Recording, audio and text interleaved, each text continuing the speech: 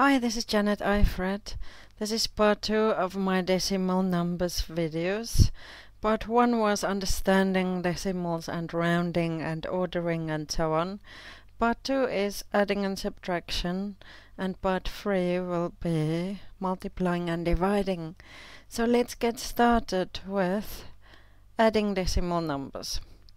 If we have to do 23 which is 2, 3 point. Now, as I explained in part 1, any number has got an invisible point and then zeros after that.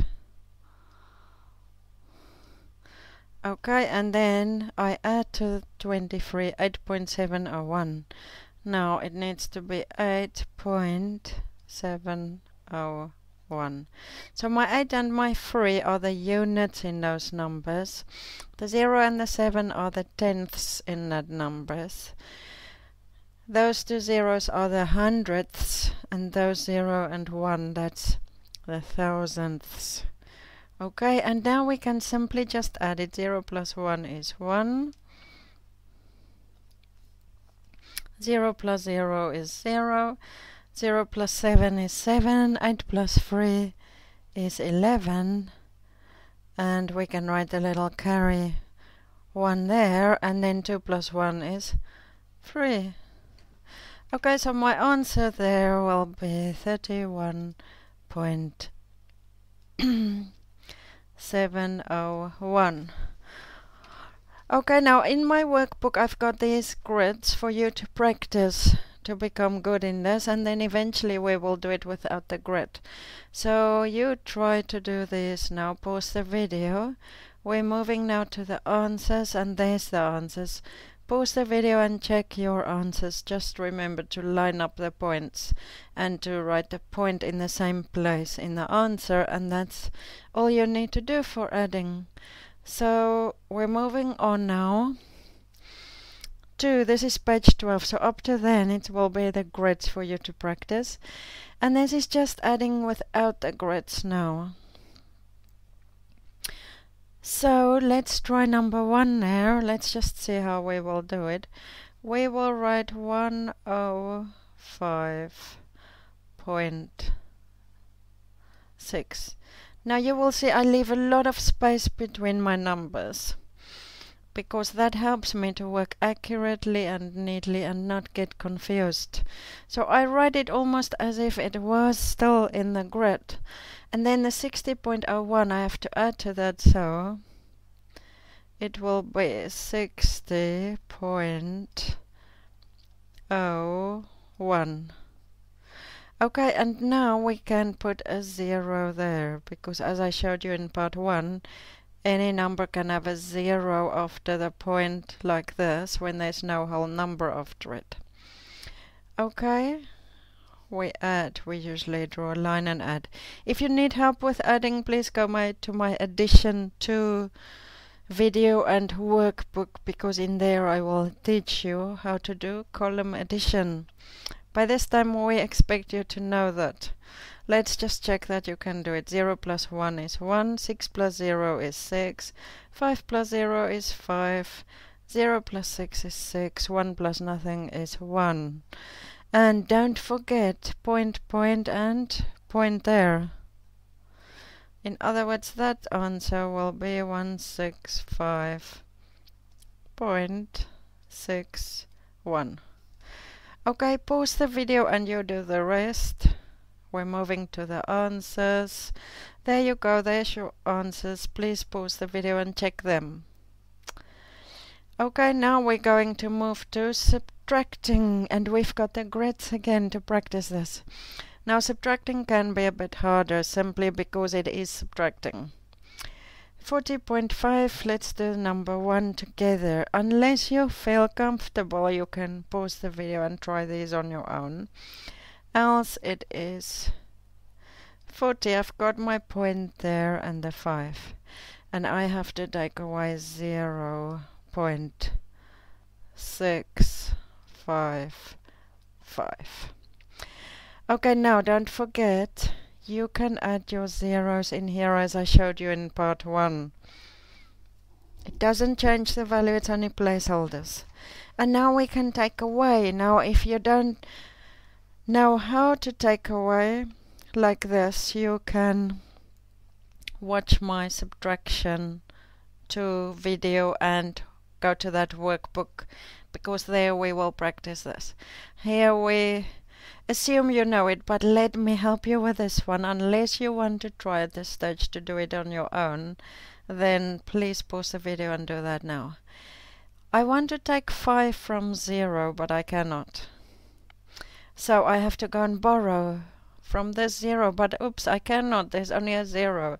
So I have to go to the 5 and borrow. I take from the 5, there's 4 left, and now I have 10. Okay, now I still need the one there, so I still need to continue to borrow. I need to borrow from the 10, it becomes a 9. Let's make that clear that that's a 9. And then this becomes a 10. Okay, now it's 10 take away 5, which is 5. 9 take away 5, which is 4. Now, can I take 6 from 4? No, I cannot. So I have to go and borrow, but I cannot borrow there because there's nothing. So I have to go on and borrow from the 4. It becomes a 3. And that becomes a 10. Now I can borrow from the 10 and it becomes a 9.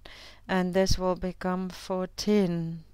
Now 14 take away 6 is 8 and then that is a 9. 9 take away 0 is 9 and 3 take away nothing is 3 so my answer will be 3 9.845 okay pause the video and you do the rest.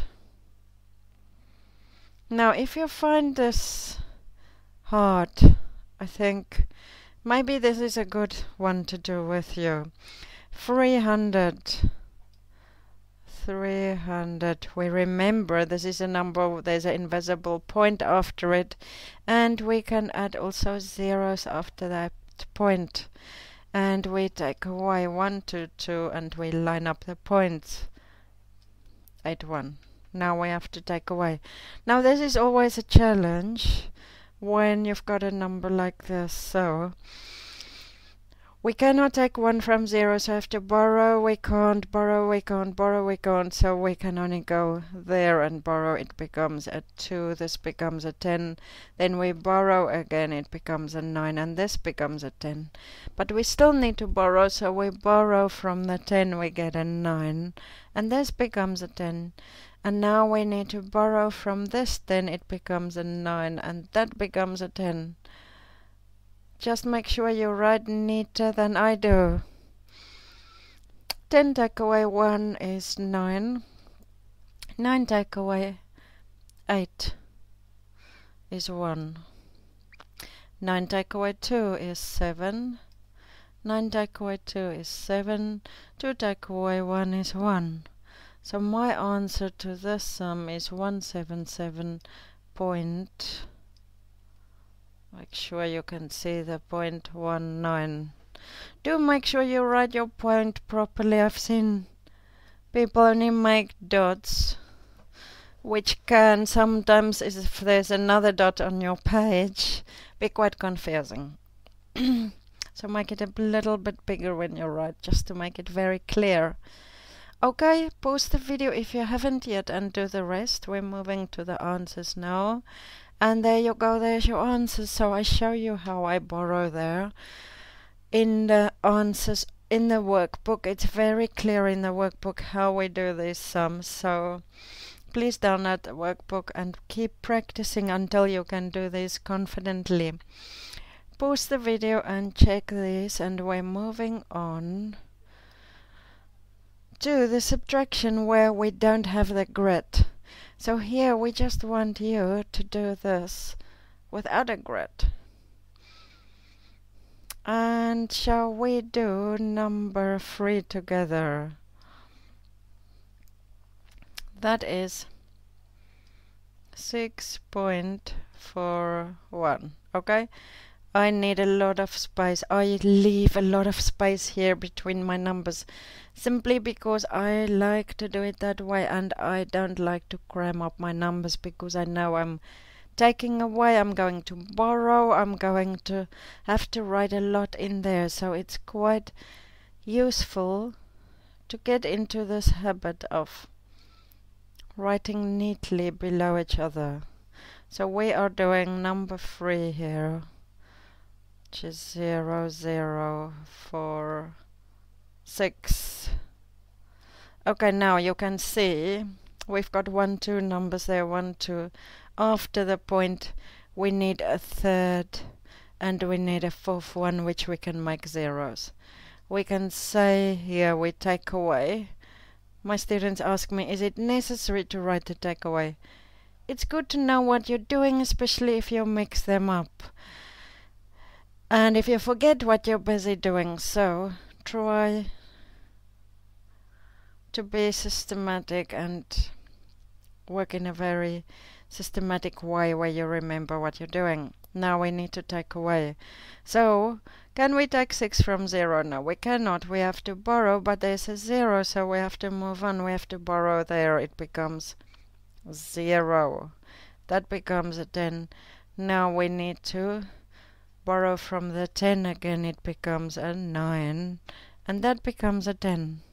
Now 10 take away 6 is 4, 9 take away 4 is 5, 0 take away 0 is 0, 4 take away 0 is 4. The point very important, it line up, and 6 take away 0 is 6. So my answer to that one is 6.4054. Okay, pause the video, you do the rest. Now there's the answers for you. Please pause the video and check your answers. Okay, and we're moving on to page 18 in your workbook where we're going to mix them up. So we have taken away and adding together on one page without a grid. So you have to be very systematic here. Try to write neatly below each other every single number. Fill in your space holders as zeros. And remember that sometimes you will take away, sometimes you will add and practice this. Pause the video and see if you can do this. And we're moving on to the answers. There's the answers for you. Please check those answers. Okay. Now we've also reached the end of this video, so pause the video if you still want to check that. And then please download the video, the workbook by clicking on the link at the bottom and practice this. Please also come back to watch part 3 which is multiplying and dividing which is really the tricky one. And then also watch part 1 and all the other videos that I've posted on all the basic skills you need in maths. And then thank you very much for listening to me.